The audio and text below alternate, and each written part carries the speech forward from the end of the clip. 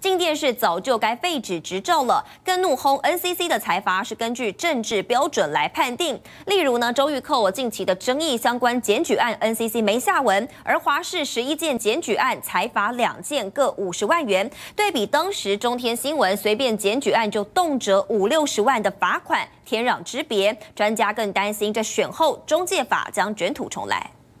二十二年的秘密。周一蔻胡乱爆料滚床单，NCC 接获近百件检举，但怎么罚始终没下文。而同样是绿油油的华视。今年四月以来，出包被检举十一件，NCC 只罚两件，包括跑马灯出现中共飞弹攻击新北，还有台北阳明山火山爆发错误讯息，各罚五十万。对比中天，竟然被罚到关台。前 NCC 委员说，实在差很大。呃，那中天的话就是呃，这个重罚，而且重罚好几个节目。是，但是周玉蔻的这部分的话，看起来就是处理轻放，对轻放，有一百多个这个申诉案件之后才才处罚。如果说有检举案，然后有看到这样的话，就我觉得就应该重罚。西西他现在不。是没有标准，只是他的标准不是法律标准，而是政治标准。如果是法律标准的话，他可能会在同样类型的案件上做出同样的处分。各界质疑电视台遭大幅绿化，裴伟录音档更惊爆，连总统都介入禁电视案。专家这么看，那么府院没有拿捏好这个分寸，就是你不应该去去干预 NCC。嗯，像这样的一些事情，难道我们政府机关的政风都不需要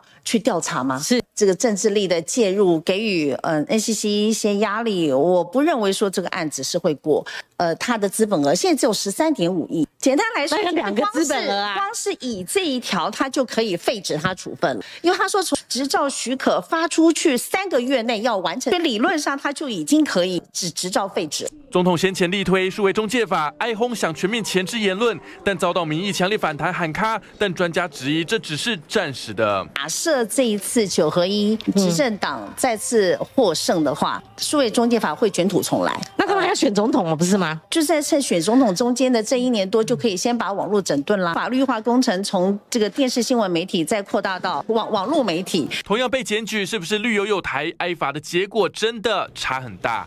记者林正坚、王世恒台北采访报道。